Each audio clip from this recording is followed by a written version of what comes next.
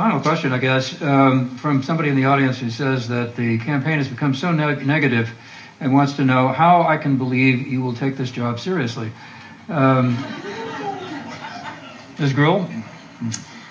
Well, I have to say that um, my opponent was the first to have a negative website. My opponent was the first to send a negative mailer, first to send, um, have a press conference negative, and uh, today went up with one of the most despicable, uh, I have to say, TV ads, and wants to say that he's going to be above it. And if you look at the Cruella De Vil um, ad that also uh, went up, uh, that compares me uh, to a number of people I don't even want to mention.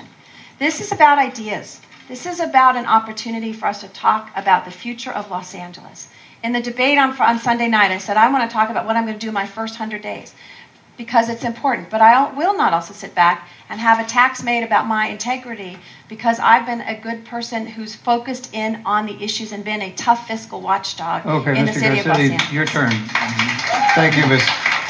Thank you. Um, I don't want to get into who started this because in December, uh, Ms. Greuel, and behind closed doors, started saying, Who can you trust pointing at me? And went after me. Somebody who I consider a friend. I'm sure we'll be friends afterwards. It's probably not the high point of our friendship this week. But we are somebody, I believe in her. I believe in her commitment to public service. I've not had mailers like she has done dressing me up with hats and giving me nicknames and putting me on Oscar statuettes, which looked, I thought, pretty good. I worked out a lot there.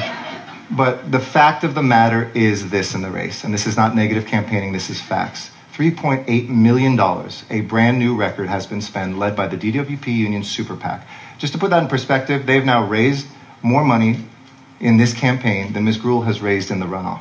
That is distorting to democracy, and it isn't about whether you're a union or a company. A company could do it, and it would be just as despicable. But it is wrong. We have always used facts from the Los Angeles Times. For instance, when they said $160 million identified in fraud, waste, and abuse, wasn't there. Only 240,000 has been brought to city treasury by Ms. Greuel's audits. Um, I have taken four or five weeks, if they're so despicable, of attack ads from her, attack ads that were taken off the air by three channels because they didn't even have the proper disclaimers on them. Because you have to admit when you're attacking somebody and they hit her name and her face.